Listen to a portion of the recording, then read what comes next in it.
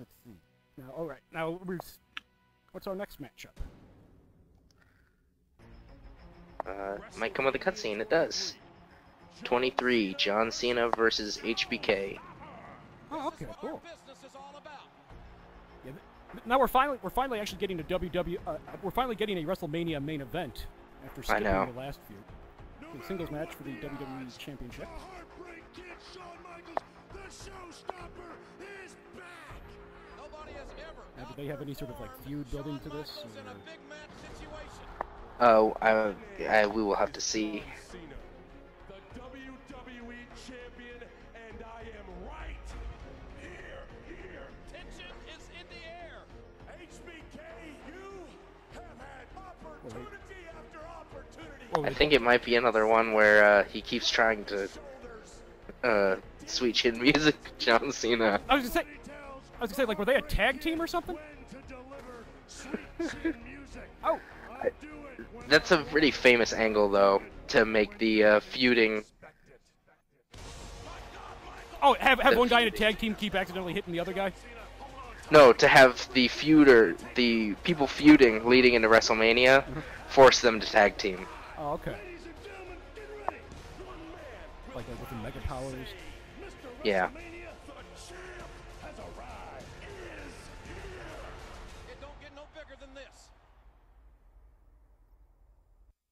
Oh, 23 HBK, John Cena.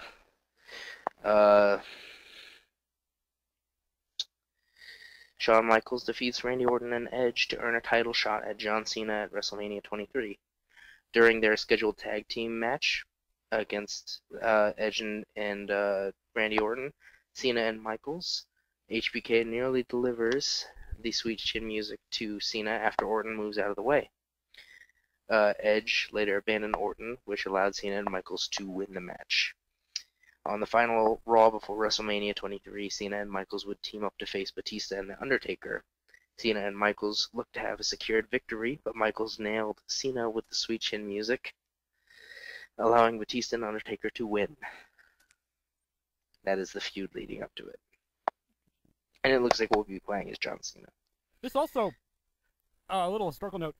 WrestleMania 23 had the highest uh, uh, buy rate in Really? uh, in WrestleMania history. Wow. One point one and a quarter million. Hmm. One and a quarter million. And so this is the main event, right? Yes, this is. Wow. So HBK would have gotten quite the payday.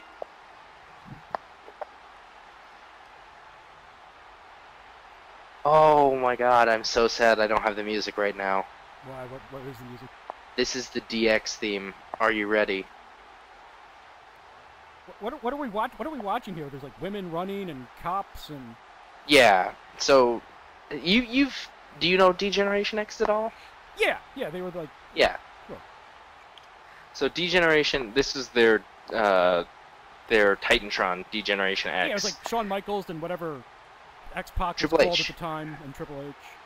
uh, and then the New Age Outlaws, uh, Road Dogg, and the Badass Billy Gunn. And was, was that when like Chyna was going around punching everyone in the balls? Yeah, that was Chyna was also D-Generation X.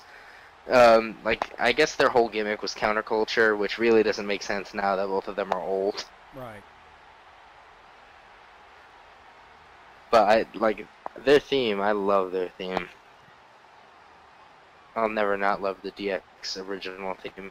But yeah, they kind of they were kind of like they were kind of like the beginning of the of the whole you know Attitude Era, Yeah, filthy, nasty ruthless aggression. guys who were kind of would have been heels being kind of faces. Yeah. Well, yeah, it was the rise of the anti-hero, where you could act like a, a heel, which Shawn everybody liked, but as long cool as you did it to the right people, Yeah. it was okay. Shawn Michaels always He's has like- cool pay per view entrances. Yeah.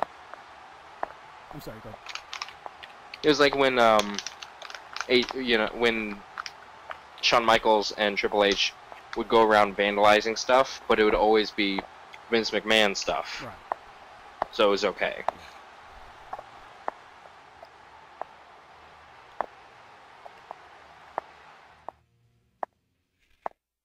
Was that when X Pac was going under the name Syxx? No, I don't think so. I think he was X Pac when he was part of DX. Okay. Because one, I know I think he was. I previously. Oh, you know what? No, you might be right because he, start, he he would've been- one, two, three kid. would have been the sixth. Yeah, he would have been six because he would have been the sixth member of DX. Oh, is that why they called him that? Yeah, he was was like- six. He was six because he was the sixth member of a bunch of different um, um, stables. But it was like SYXX, right? Yeah. So yeah, we just talked over it, but this was the same WrestleMania where John Cena drives a car into the arena I remember that. through a plate glass window. I remember that. Yeah. He's wearing much more modest shorts this time. That's appreciated. Yes. And I assume since he's in a T-shirt that he's no longer the Doctor of Thuganomics. Nope. He's saluting. He's playing up this whole Marine angle. I think this might have been when the Marine came out. Really? Yeah. nonplussed by Cena's arrival. And the steel blue I remember when um, United States 12 Marine rounds. the United States Marine Corps has long been known for its bright spinning belts. Yes. um, I remember when the Marine and 12 rounds came out. I was just like, who the hell is John Cena? And why does this movie look like a shitty Bourne Identity? because it was. Who- You're playing Cena, right? Yes. Pretty much every match uh, where Cena is in, you play as Cena. Hey, one of your one of your PS3 friends making a cameo. Yes. I think that was uh, Callum's actually. All is just a. Okay, this is standard pinfall or submission. Yep. The first historical Uh, first goal is to Irish Irish, whip whip, HBK into at the light announcer table. damage into the announce table. Then complete the so- WrestleMania moment, and then win with a STF. That's your submission, right? Yes. It is actually, like, to its credit, the STF is a, a cool looking submission. Well, I'm sure it's a perfectly fine submission. It's just its name makes no sense now. Yeah, its name is dumb. It's shut the fuck. Which, like I said, sounds worse than STFU. Really, Yeah. it's just like All right. obscenity for the sake of obscenity. Oh, The enzuigiri on the WWE champion. John Cena looks to be out on his feet. I think that was a scripted thing. Yeah. Oh, this doesn't look That what happens when you try to Irish whip him? Into Yeah. He's gonna moonsault. oh, Or springboard moonsault. Cena on our announce table. HBK Oof. will do whatever it takes to be the WWE Shawn Michaels sells like a motherfucker. Call him Mr. Oh, yeah. Like like someone hits him, knocks him. Di- he gets knocked down. He's like heaving, like he's having a seizure or something. Strong selling has has almost always been like a thing that ev- that's uh, big stars have to do. The only exception I think are Hulk Hogan, The Undertaker, and John Cena, all of whom like their gimmicks is not selling. Yeah, well, well, yeah. I mean, Undertaker's gimmick is not selling because he's he's he's undead. A zombie. Why didn't Yeah. Hogan generally didn't sell much? Was that was that just an ego thing or? Uh, he didn't sell partially because of an ego thing, uh, but also because uh, like his gimmick was, you know, being the ultimate face, proof that hard work, Indomitable, yeah, you know, say your prayers, train, the commandments, take your vitamins.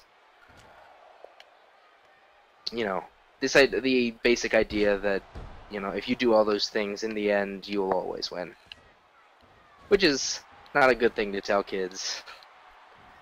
I mean, it's a good moral, but telling them that they'll always win if they do these things makes makes for harsh realities when they enter actual competition.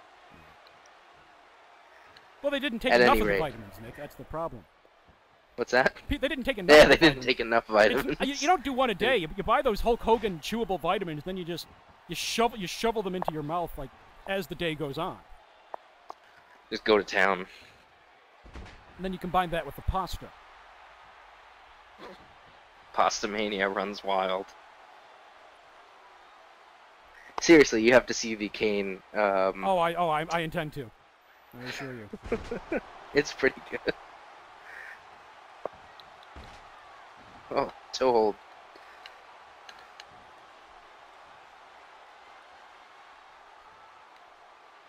Oh shit.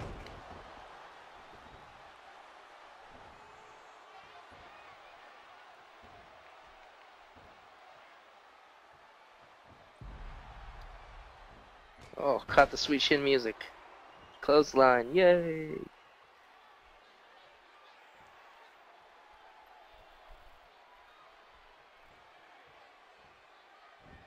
Alright, now I'm gonna put him into the finisher. Ah. Oh, I don't think I'm gonna take it. I'm gonna deal a lot of damage, but I don't think I'm gonna make make him tap.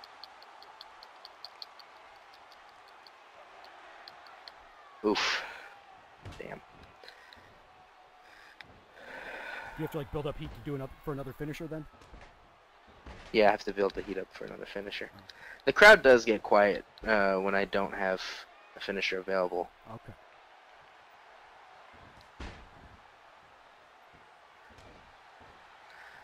So uh, when I, I uh, when I first started getting into wrestling, um, I had to explain to one of my friends like all the references I kept making Because he didn't get it.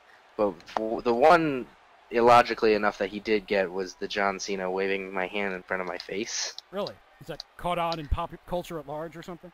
I guess like maybe you know John Cena is actually just mostly fairly well known, uh, even by non wrestling enthusiasts. Um, I mean he's on like Disney Channel for Christ's sake. Uh, well, he's, he's, he's like cross. Well, it's like you know, I mean, like people knew who Hulk Hogan was in the '80s, whether they watched wrestling or not. yeah, but people knew who Hulk Hogan was. I think for like because Hulk Hogan like the '80s he was like mad patriotic, and that was a cool thing in the '80s. It wasn't like oh you're patriotic. But but a, You know, a, a lot of wrestle, a bun- number of faces were like that were really patriotic at that time. Yeah, but not only one wrestler's theme was "I am a real American, That's, fight for the rights of every man." and also he was. Um, I mean, he had like you know that role in like you know what, Rocky Three and stuff. So he was yeah, he had some more mainstream exposure. And of course, the classic Suburban Commando. yes, such a good one. which I Um, believe also had the Undertaker. there we go. Tap tap. Oh fuck you! Oh no. He used his special ability to keep from tapping. He was so gonna tap. Um, but the yeah, the one my friend did get was the waving the hand in front of the face, Mhm. and so I started doing that, like, but just to like piss him off, because he knew it, but that did not mean he liked it. So he'd like, he'd go around. Here's me targeting his arms. Here's me targeting his head. I meant to show this off earlier. Um, and let's get the legs. Man, his whole body is just a massive injury at this point. Well, no, his arms are okay, but Um, and so it, it accidentally got to the point where all of my friends knew, like, when I was trying to piss them off, that I would do the fate the but you can't you see can't me. see me. And so then I like I just became that guy that kept doing you can't see me all the time. And uh, one time I picked my friend up from my house, uh, and I hadn't seen him in forever. And he's like, "Do you still do that you can't see me thing?" I'm like, "Yeah, I do it all the time." And, and he's like, "Please stop." And I'm like, "I'll do it right now while I'm driving." and, and the cop car like happened to drive by in the neighborhood Yeah, and I and I looked over at him while I was driving, and I did it. yeah. and thankfully, the cop just thought I was trying to wave to him, so he waved to me. oh, sweet chin music. Oh no! Yeah, I'll be okay. I've got one resiliency. That's what lets you like recover. Yeah. So now I just need to. Wow, that's stupid.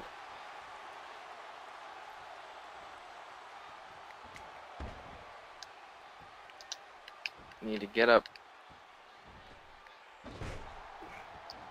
Oh shit.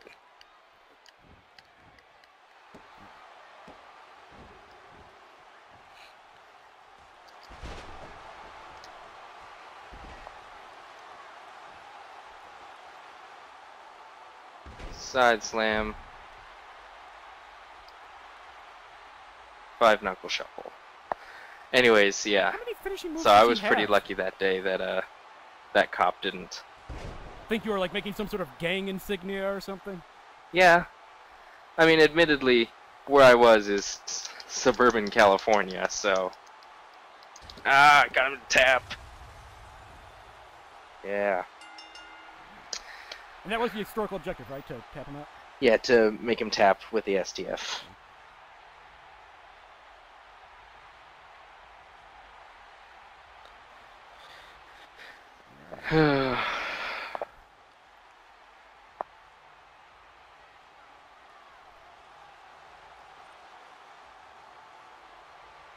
yeah. They are they're still pushing Hulk Hogan merchandise at the WWE store. No, he's a timeless figure. Not really. if you've seen him.